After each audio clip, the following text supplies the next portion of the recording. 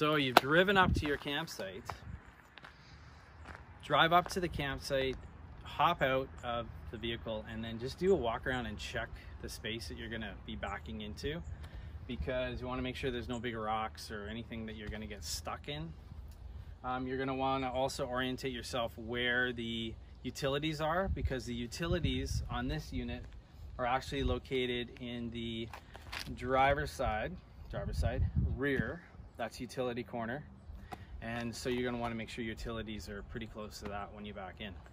Also inside the RV, right behind the television, there is a little light goes on your head. So if you happen to get to a campsite and it's dark, put it on, you've got light, you can work with your hands and you don't have to worry about holding a flashlight in your mouth or something like that. So let's just talk about where everything's located. So the first bay that's in behind the drivers, uh, that's where we got our propane for the for the barbecue. We got an extra poop line here, sewage line. Uh, we've got some skewers here for campfire. We've got a squeegee and we've got the brush for cleaning the RV.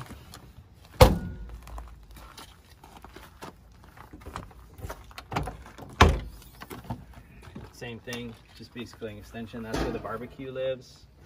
The other end of the brush, so on and so forth. So that's in that bay. This is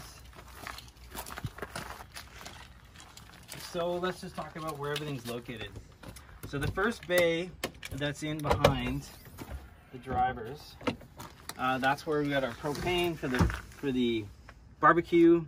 We got an extra poop line here, sewage line. Uh, we've got some skewers here for campfire. We've got a squeegee and we've got the brush for cleaning the RV.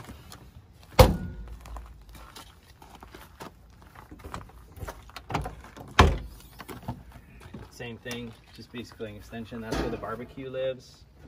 The other end of the brush, so on and so forth. So that's that bay. This is where our tank is for fresh water and stuff like that. This is where the tank is for the sewage tank because right here is actually a SANI uh, hookup for water so you can clean out the sewage tank.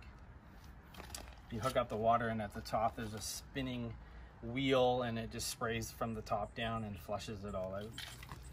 This is utility corner right here. Utility corner. Power on the right, water on the left. And there's a whole nother video on how to set this up and what to do and how to drain the the gray water wastewater, which is like your your bath water, your shower, uh, sinks, and that type of thing. And then there is the black water, which is basically where all the sewage is. Two different tanks. This is right here is your sewage hookup. This is where the sewage pipe gets hooked up to, right here. On this side, there's a ladder to the roof, but there's really no reason to go up there because there really isn't anything out there. There's a large storage bin right here, which is the one that I showed you inside that's under the bed. This is another access point. There's actually a light in here too. So you can turn the light on, and see what's going on. There's a fishing rod. There's one small mat, which I usually put under the stairs. And then there's a really large mat that goes all the way the length of the RV.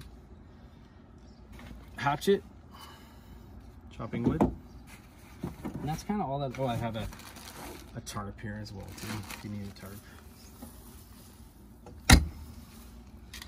This here is our freshwater fill.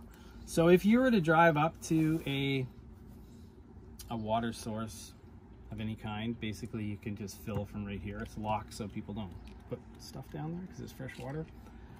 Inside above the uh, table in those storage bins there, there is actually a spout to stick in here to hook a hose onto. So you could, but you can also fill the fresh water on the other side which there's a whole new video about that.